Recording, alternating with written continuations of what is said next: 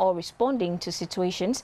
The CSIR's Building and Roads Research Institute, BRRI, in Kumasi indicates it has the capacity to handle them via drone technology.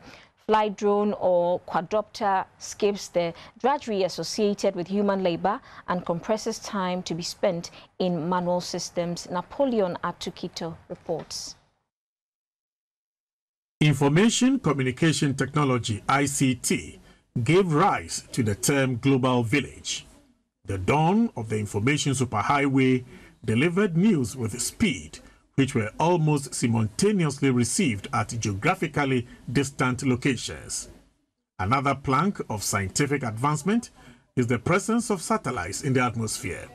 Satellites are artificial bodies placed in orbit around the Earth or Moon or another planet to collect information. The director of CSIR's Building and Roads Research Institute in Kumasi, Ghana, Mr. Daniel Asensu Jembibi, breaks this down in a simple sentence. America has 25 satellites in the atmosphere. I mean, controlling all over the world. That's why you see on TV and you can see uh, Syria being bombed. From, nobody is sitting there and screening those things. They are all from the satellites.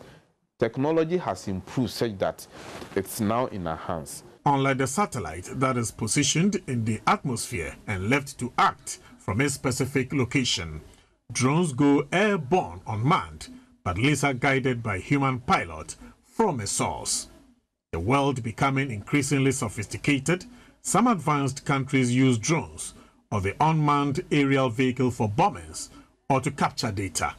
Staff of the Geomatic Engineering Department of the building and Roads Research Institute in Kumasi are masters in drone technology, though focuses on data collection only. We as planners, we as engineers can use it even beyond that. We can integrate GPS with drone technology.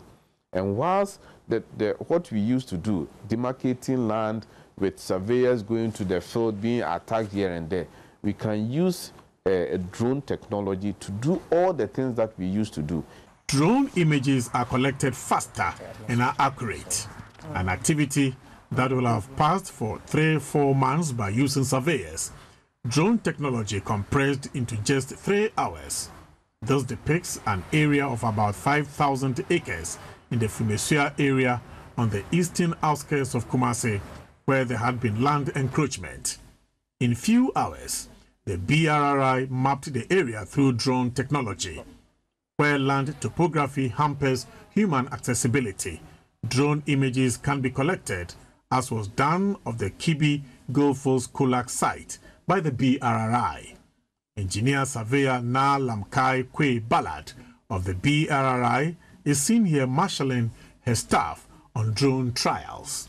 We use a, a consumer-grade drone, a GPS, and the modern softwares that will be able to analyze the data and give us an output that we want.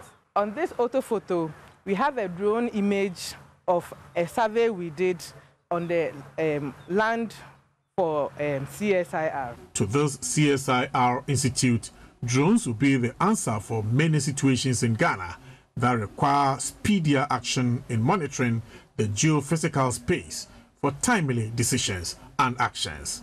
In Ghana, the technology has been applied on limited basis in aviation, mining, agriculture and health, where lately government introduced the Act in delivering blood supplies. In hardcore investigations, the experts affirm a firm place for drone technology.